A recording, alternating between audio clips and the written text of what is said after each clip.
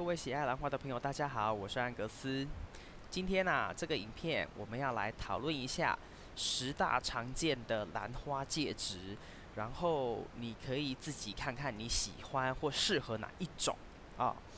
那我们今天要来讨论的这个话题呢，也可以讲得非常的细，但是因为时间的关系，还有种类的呃。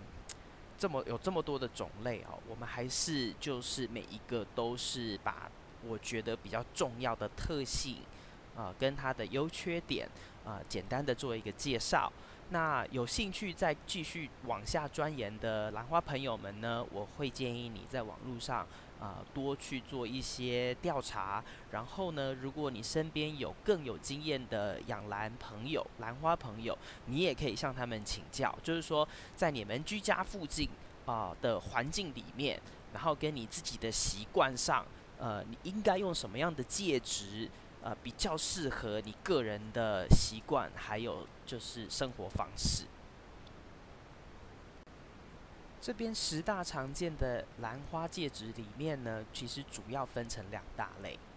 有机的介质与无机的介质。这边的有机不是我们平常指的有机农作物啊、有机蔬菜这样的有机，而是指说这个介质一旦老化后啊，它会分解。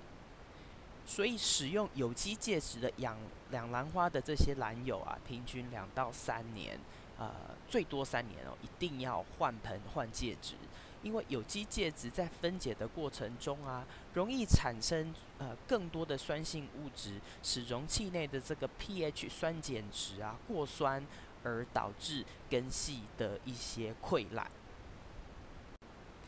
不过呢，我这边不是在说有机介质不好，或者是无机介质就比较好，而是我们需要去了解它们这。它们的特性，这样子啊，我们每一个人都能够依照自己的喜好、环境等条件因素去选择适当的介质，或是我们喜欢的介质。我们要记住，每个人能够提供给兰花的生长条件都不一样。比如说，不同的地区有不同的季节、不同的日照、温度、湿度等等等。所以，如果你刚开始认识兰花，你要有一点耐心的不断去调整，直到你自己有自己的黄金流程、黄金比例。那接下来呢，我们先来看大家比较熟悉的有机介质。第一个是水苔，水苔我个人觉得是最常见的兰花介质。它常见的主要原因是因为它价格比较便宜。容易取得，保水性佳，而且在运送的时候呢，也可以减少浇水的人力成本。而且水苔呀稍微压紧一点的时候呢，还有确保运送中能够固定根系的作用。所以商业兰园呐，这种大兰园，他们在大量使用，呃，他们都会大量使用这种介质来栽培兰花跟运送兰花。还有啊。兰花刚出品的幼苗，因为它们啊，不管什么种的兰花的幼苗，它们大部分都偏好比较湿湿润的环境，所以呢，一般也都是用水苔来做培育，直到它们能够变成成熟株。那也是因为它保水的这个特性啊，这个优点哦，所以很多你会看到很多的苗啊，其实它都是种在水苔里面。但是，一旦这种介质老化，盆内的 pH 值就会容易变得很酸，变得太酸，而且使用越久，它水苔其实会变得越紧密。那在越紧密的情况之下呢，根系也就会越来越受到压迫，导致于说，呃，介质内的空气也会越来越少。那我们知道，兰花的根是需要空气的，所以当它空气越来越少、越来越少的情况之下呢？它也就会受到某一种程度的呃压迫，或者是一比较感觉长得比较紧张一点。但是啊，如果你没有办法常常浇水，或是你不喜欢常常浇水，比如说你是上班族，或者是你你有小朋友要照顾，或者是你有可能其他事情你要做，你没有办法常常在围着你的兰花转的时候啊，这种戒指如果使用正确，可以帮你省下不少的时间。那我这边讲的使用正确，其实它还是有一定的技巧，而且而不是说就是呃拼命的往下塞，然后把它塞得很满。其实水草这种东西，因为它的保水性很好，所以其实呃，因为你不是专业的蓝源啊，你没有那种空调或是通风的这种控制，那一般居家其实这种水草应该是。松软、松松软软，让它比较蓬松的那种感觉，然后放到杯内做戒指，好会比较合适一点。当然，你还是要稳固，你不能够量还是要足够，你不能够放太少，那兰花就摇摇摆摆的，它也会长得不是很好。好，所以自己要去抓一下那个比例，就是说不要把它压得太紧，但是它又能够稳固兰花根系在杯内啊的这样的状况，啊是是最好的情况。第二个树皮，树皮也是挺常见的兰花介质。这种介质老了之后也会分解，不过没有水苔那么酸。那使用树皮呢，就会比使用水苔啊，会再需要更常浇水一些。那另外一点就是树皮跟水苔都容易在介质中啊，呃，有虫类寄生的现象，像是瓜牛啊、阔鱼啊、水蛭啊等等。那有些呃美加地区的兰友啊，会将树皮跟水苔混合使用，以增加盆内或是盆中的水分跟持久度，哦，然后来降低需要给水的频率。因为如果单单只用树皮的话，啊，可能你还是大概两到三天，或是三到四天就必须要浇水一次。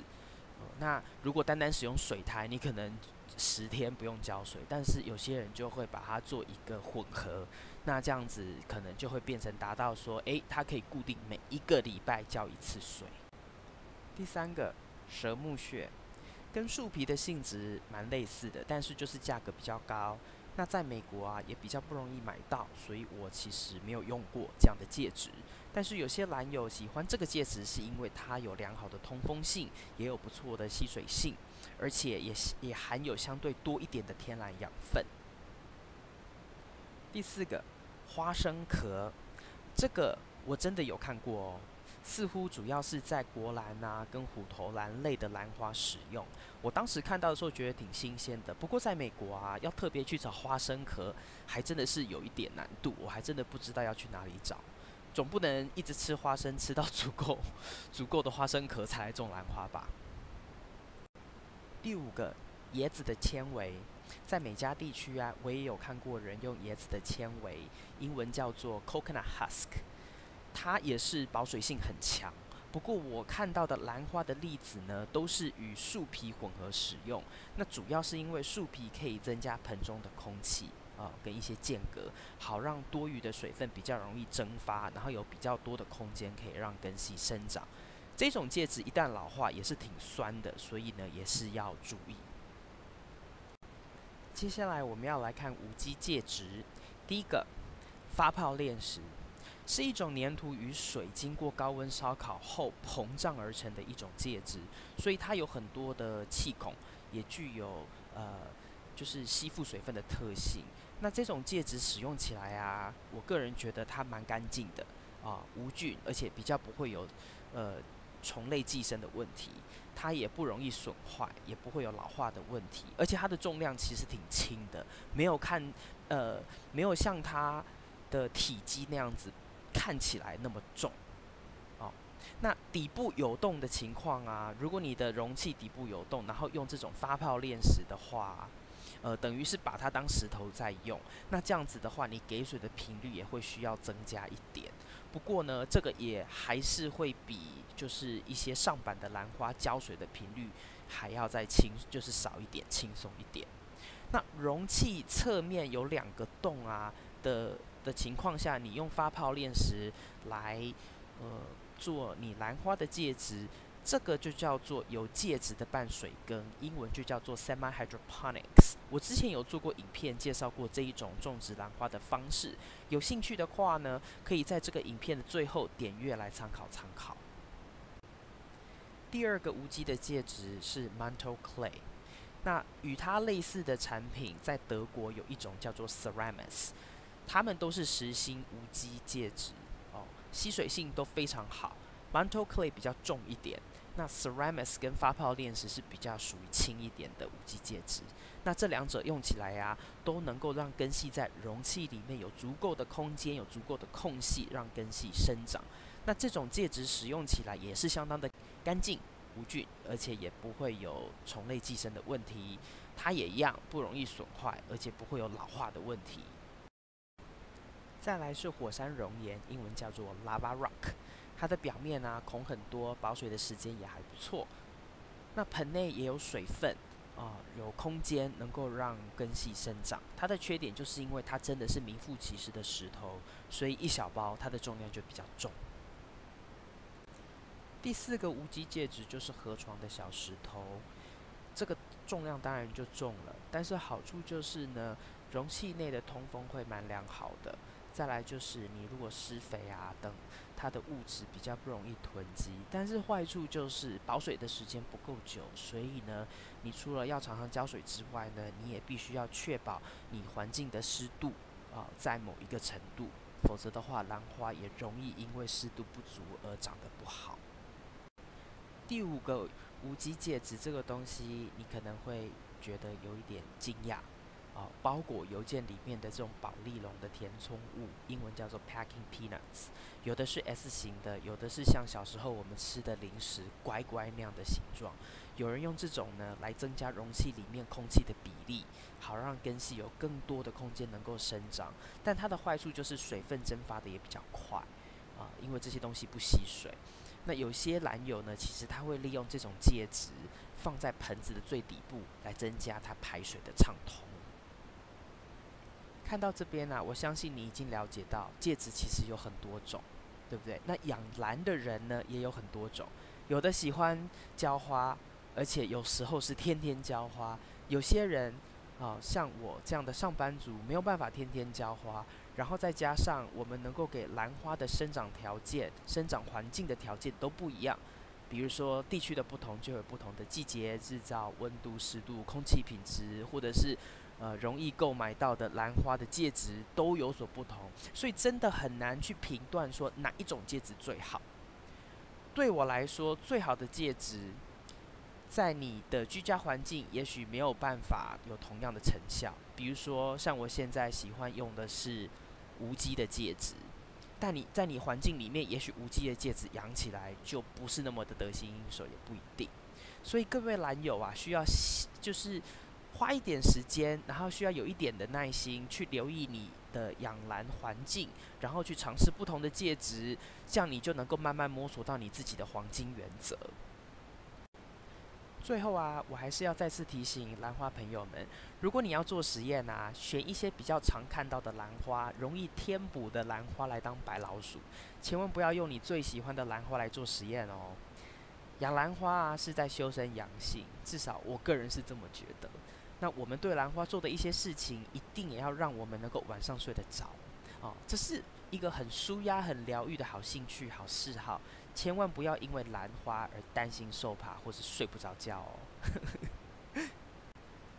以上是今天为各位带来的影片，如果你喜欢今天的影片，请帮我在影片下面点个赞，也非常希望你能够订阅我的频道，不要忘记打开旁边的通知铃铛哦，这样当我上传新的影片，你就会收到及时的通知。如果你有任何的问题或是任何的指教，也欢迎在影片的下面留言。谢谢您的观赏，我们下次再见。